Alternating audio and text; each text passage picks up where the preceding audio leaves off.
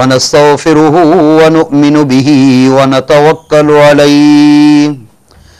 ونعوذ بالله من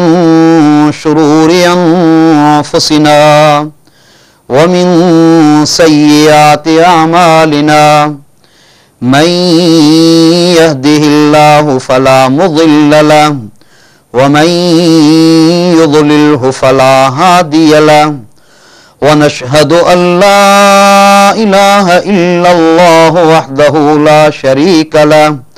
ونشهد أن سيدنا وسندنا ومولانا محمدا عبده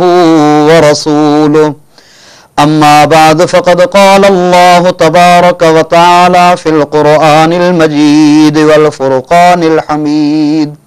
أعوذ بالله من الشيطان الرجيم بسم الله الرحمن الرحيم ويسألونك عن الروح قل الروح من أمر ربي وما أوتيتم من العلم إلا قليلا ولئن شئنا لنذهبن بالذي أوحينا إليك أوحينا إليك